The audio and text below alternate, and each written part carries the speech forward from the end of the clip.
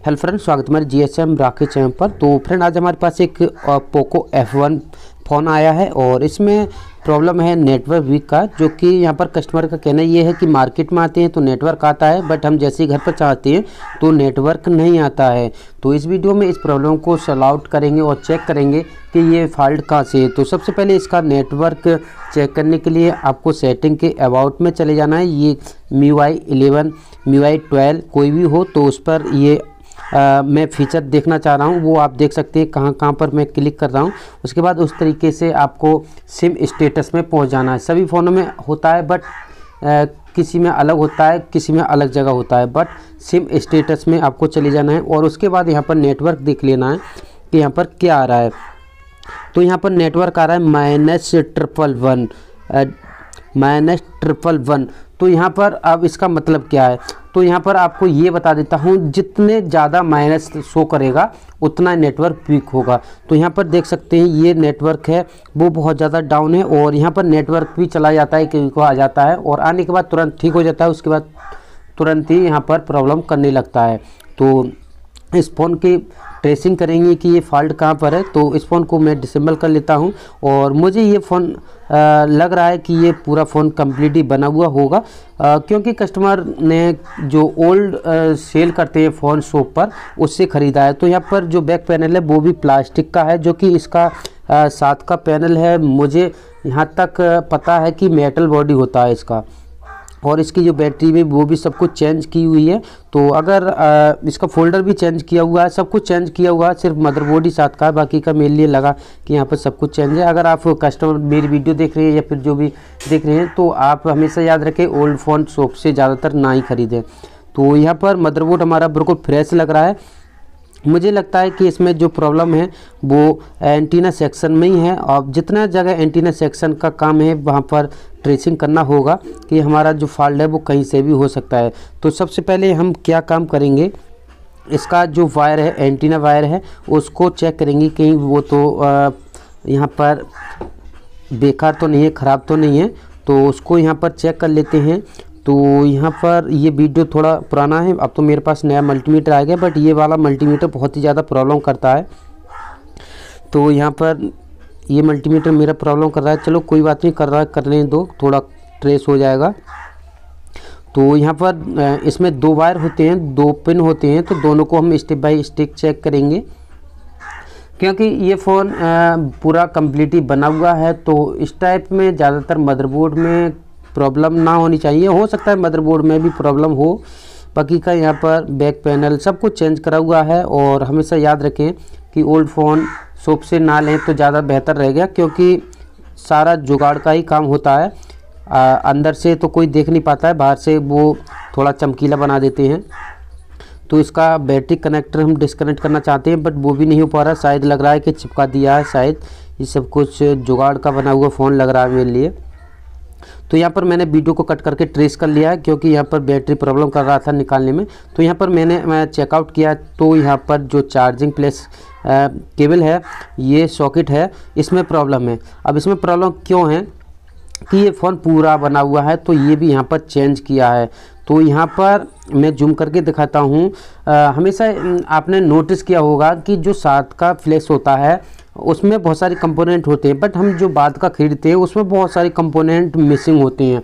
उसी तरीक़ा से यहाँ पर भी यही कंडीशन है कि यहाँ पर एंटीना सेक्शन में जो रजिस्टर और क्वाइल लगी हुई होती है, वो यहाँ पर नहीं है। सिर्फ़ एक ग्राउंड से टच है जो क्वाइल बाकी का यहाँ पर एक भी कंपोनेंट नहीं दे रखा है, जो कि रजिस्टर भी होता है क्वाइल भी होता है, बहुत सारे फ़ोनों में।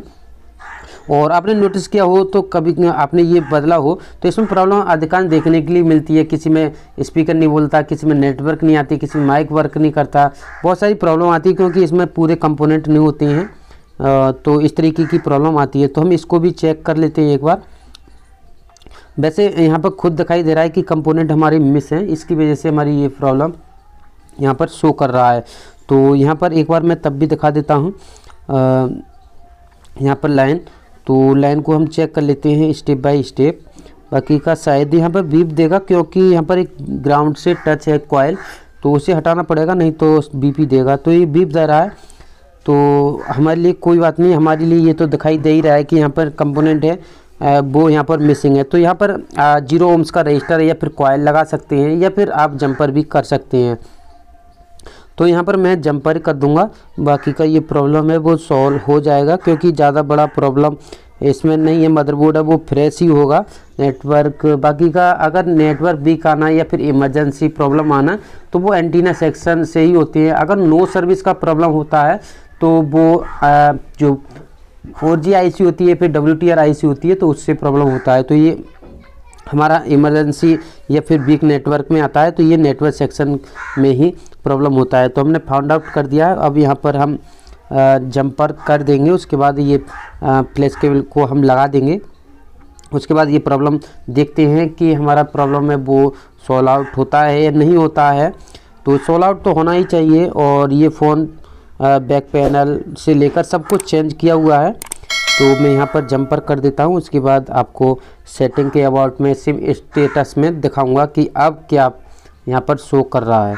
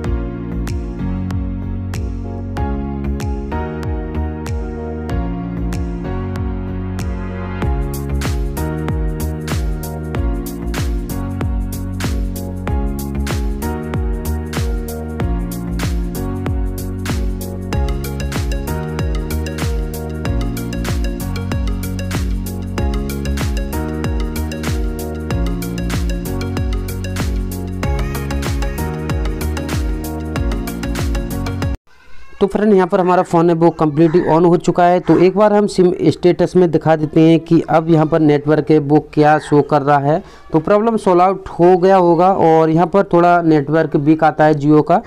बाकी का तब भी देख लेते हैं वहाँ पर माइनस ट्रिपल वन आ रहा था।